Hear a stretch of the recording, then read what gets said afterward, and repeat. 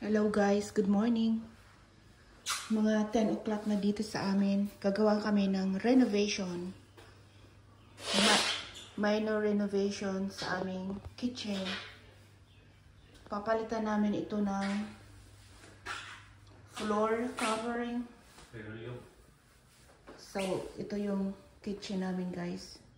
Papalitan namin ito. Kasi nagpipeel off na yung iba.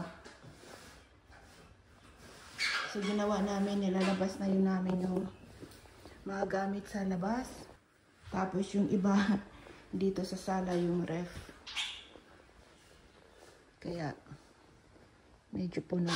San muna namin, yung unang ginawa namin, tinanggal namin lahat ng mga gamit para free flowing lang kaming gagalaw. Tapos, linalisan muna, tanggalin yung lahat ng mga madudumi, Tanggalin lahat. Ninalisan na to, nilinisan. Tapos, map out ng mabuti. Tapos, wipe ng tubig. Malinis. Tapos, i-dry. Saka namin ilagay yung bagong linoleum. So, we will see ilang minuto namin to or ilang, ilang oras namin ito mag, magawa. Yan si Mr. Busy busy. This is our mini project. Papalitan namin yung ano.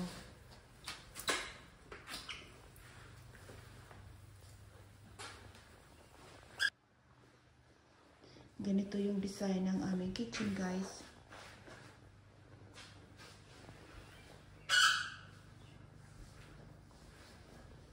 So, ganun lang.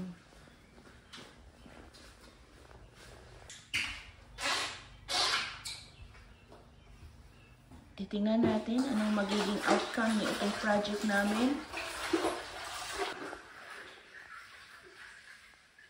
So, alas 10. Exactly 10 o'clock. Mag-set tayo ng timer. 10 o'clock ng umaga. Tingnan natin anong oras matapos.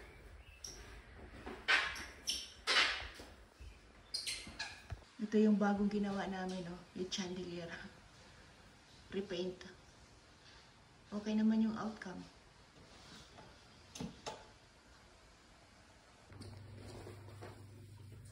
Mas patuyuin natin guys. Mga ilang minuto para mag-dry lang siya. Mag-dry lang everything. So ito guys, ito yung nabili naming linoleum. Dalawa is 12 by 12 ang width, 8 feet. So bumili kami yung dalawa. Tag ano siya? 59.95. So, mga 60, 60 na plus taxes, mga 112, mga ano na, 60, 60, 120. Pero dahil 50% off sa Olis appreciation sa mga customers hanggang linggo lang is Saturday ngayon. So, ginagrab na namin yung opportunity makasave. Yung 160, nagiging 112 na lang. So, malaking tipid na rin. Diyan nakapark yung mga sasakyan para in case kailangan namin ng mabilis na doon. By the way guys, yung weather namin dito, summer na dito. So,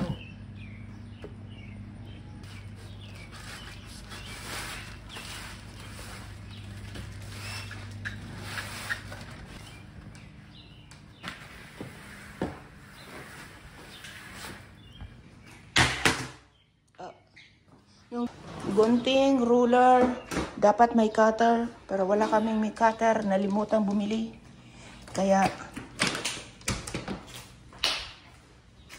tuyo na ba yung floor? Hindi pa.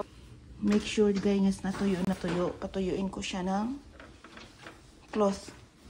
Kasi kung may moist yan siya guys, tapalan mo ng linoleum agad. Magkuko siya ng molds. Nakakos yan, delikado ang molds pag ma-breathe, pag mahinga mo yan guys. Eh syempre, nandiyan na yan sa ilalim. Masama mo yan sa breathing, mahirap yan.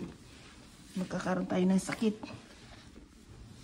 Kaya patuyuing mabuti. Kaya winawipe ko siya ng close. Para mapabilis.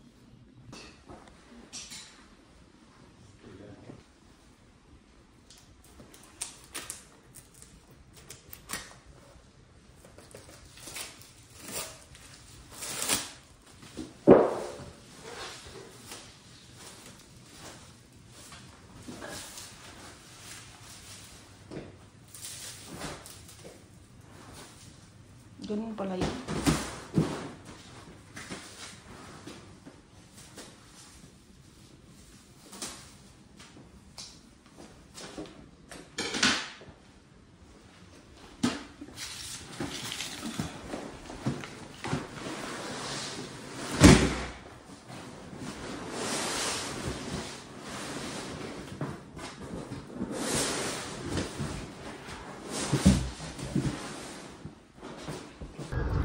Hello guys. Hindi ko nagustuhan yung kulay ng nabili naming linoleum. So bumalik kami sa Lowe's. Pagdating sa Lowe's, wala din silang stocks. Naghanap kami sa internet kung asan kami may vinyl floors. Pumunta kami ng Home Depot. Yan. Ito yung dadala namin oh, ang haba. So titingnan natin. Made in the USA. Dahil hindi siya masarado kasi masyadong mahaba, tinatinali na lang yung sasakyan, alarm ng alarm, simula doon hanggang dito kasi nga hindi sarado yung sasakyan. Ito na yung outcome guys ng flooring.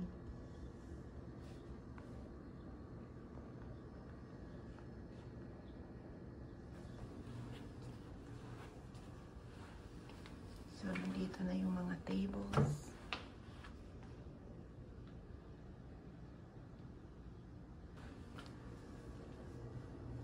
Ganda naman siya. Nagustuhan ko kasi para siyang real na kahoy.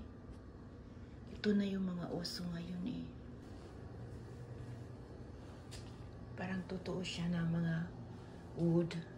Actually, hindi siya totoo na wood. But it looks like wood. So, ito na yung kitchen namin. Ito na yung kitchen namin.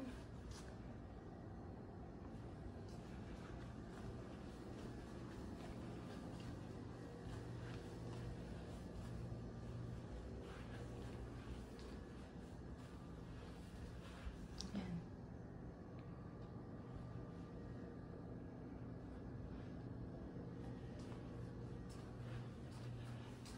Madami kaming snacks oh. Galing Pilipinas. Pastillas DOB. May dumating kasi galing sa Pilipinas. May dala siya mga mga pasalubong. Yan oh, kangkong chips. Tsaka merong mangoes, dried mangoes. Tsaka meron pang mga salted tamarind at marami pang iba.